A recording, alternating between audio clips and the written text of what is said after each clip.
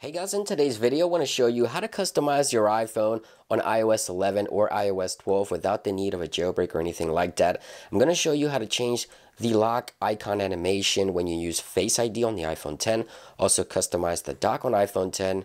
On older devices or devices non-iPhone 10, I'm going to show you how to customize the dock and it's going to look pretty cool just like that. And it's also some additional animations for the lock screen for those devices as well. But we're going to start with the iPhone 10 here and this is going to be using a few simple wallpapers that do the trick. There's two wallpapers for each animation. So first let me show you the animation when I lock the device use Face ID. You see no longer a lock. Now it's going to be a heart and it unlocks and it looks really, really cool. I really like this a lot. So two wallpapers.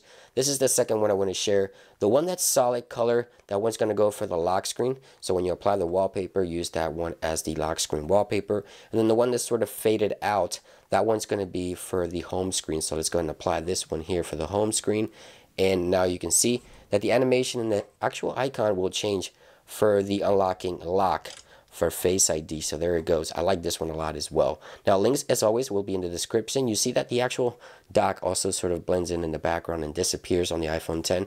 No jailbreak, just a simple wallpaper. By the way, I do have direct contact with this developer. So if you want any custom icon there for the lock screen, maybe I can uh, talk them into actually making it for us. Maybe something really cool that you can come up with. Leave a comment down below. That may be a possibility.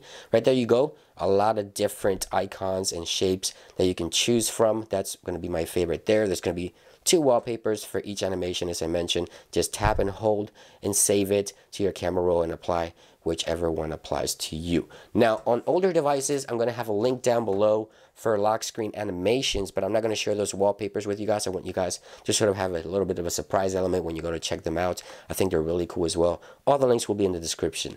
But let me show you how to customize the color of the dock. This is also going to apply to iPhone 10. It's going to be a wallpaper as well, just like before. All you have to do is select from two different wallpapers. You have the home screen wallpaper or the lock screen wallpaper that you can choose from. And then once you select the wallpaper that you want, just simply apply it and you get this really cool uh, effect colors on the dock, which looks a lot better than the stock in my opinion.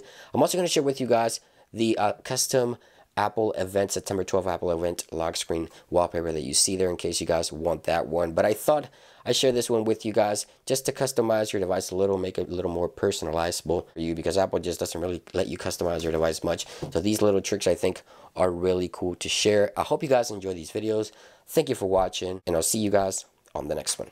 Peace.